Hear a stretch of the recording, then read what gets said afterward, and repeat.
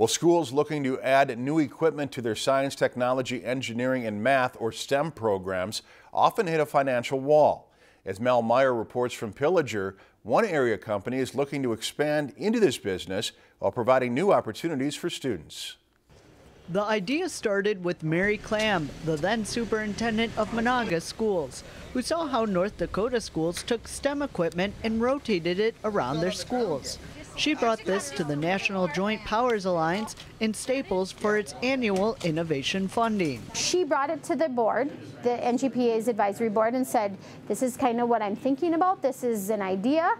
They approved it. Now Alicia Green leads the charge for Technology Mobile, a high-tech library of sorts where schools pay to be part of the program and then are able to check out the high-tech equipment when need be. A small price to pay when this laser printer costs $20,000. To purchase something like that for the school it's a huge investment for them when they have never even used it before. Since starting in 2015, the amount of schools jumping on board has grown from three to eight, and next year there will be 15 taking out equipment like laser and 3D printers, robotic Legos, and more. This is one they did on the U printer. Not all of the equipment is able to be so easily moved about. Central Lakes College is one of the funders for the endeavor and allows outside students to come in to use their UV printer. So my students have been able to create stuff here and then go in and work with the graphic arts department there to be able to actually print their products. Students at the high school level have been able to create glass etching, printed photos with gloss, and a rattle toy.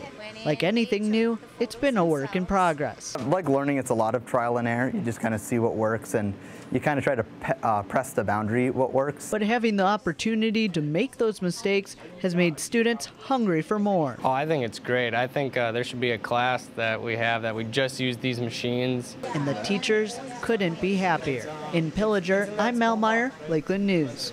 This year, the National Joint Powers Alliance will rank and select its innovative funding awarded projects on June 1st at its campus in Staples. If you've enjoyed this segment of Lakeland News, please consider making a tax-deductible contribution to Lakeland Public Television.